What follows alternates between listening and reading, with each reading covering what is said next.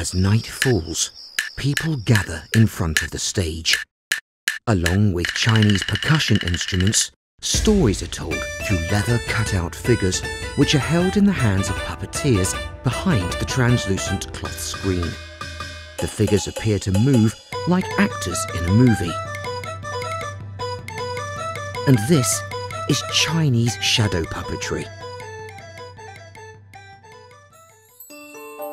A romantic story was recorded in Chinese history.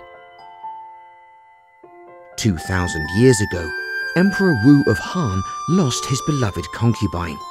He missed her so much after her death. His officials then made the image of the concubine with a piece of cloth and performed for the emperor. Seeing the image moving vividly, his sorrow was greatly relieved, as if his lover had come back to him again. The process to make a shadow puppet is mainly carved out of sheepskin, cowhide or donkey skin after careful cleaning.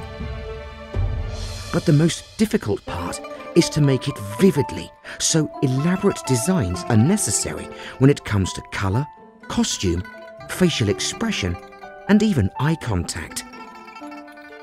Then it was made articulated and manipulated with attached canes.